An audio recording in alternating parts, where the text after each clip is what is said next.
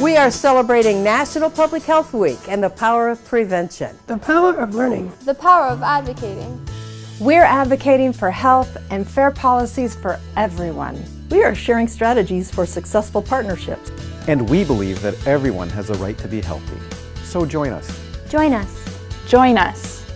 We want to help create the healthiest world. Nation. Community. El Estado más sano. And the healthiest college campus that we possibly can.